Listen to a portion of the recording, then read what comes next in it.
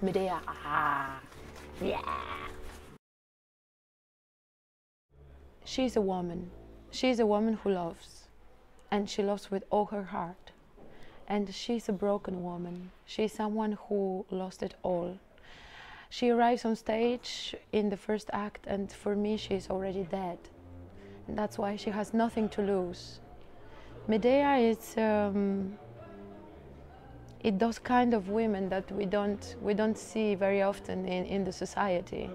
This kind of uh, uh, exceptional, charismatic, and mystic women, irresistible, very sexy. um, she's too much. She's too much for everybody. Everybody, from for the society, and for her husband, for the time she lives in, and uh, I really like her. Medea was born at the Black Sea. I was born not far from the Black Sea. the people in, in my country, they're very extreme.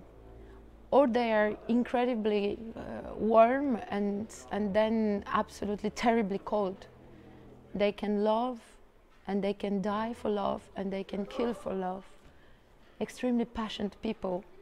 That's why I think I can really understand Medea and her drama and why she was she was pushed by the circumstances to do what she did. The musical challenges in this score, first of all, um, it was very hard for me to to learn this music because it's an, an unpredictable music.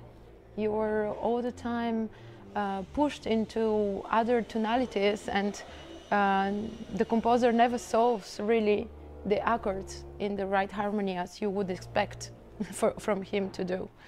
Um, the first challenge was for me the, the memory, how to, how to memorize the score. And then the musical challenge here is uh, to really to show the, these two extremities in the character of Medea, the extreme passion and the infinite love she has for her family and her husband, and um, the coldness and the the animal instinct of a serial murderer I think that it's all in the score of Cherubini.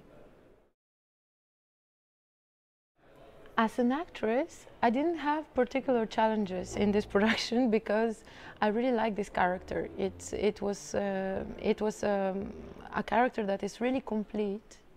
It means that it, it, she can be really tender, and uh, next time, next moment, she can explode in a, in a, in an incredible rage. So for me, it was uh, it was um, probably the question of how to show the real face of Medea, so that we stop to judge her as a, as only as a murderer, but we can really see into her soul and um, and and understand her better.